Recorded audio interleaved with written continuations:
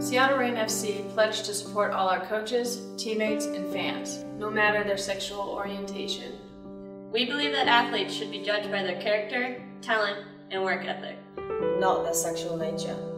Degrading and homophobic language have no place on the pitch, in the locker room, or in our community. We pledge to make the locker room a safe environment for everyone. We pledge to create a safe and enjoyable environment at every one of our matches. If you can score a goal, you can score a goal. If you can hit a cross, you can hit a cross. You can make a tackle, you can make a tackle. If you can make a save, you can make a save. And if you can play, you can play. If you can play, you can play. If you can play, you can play.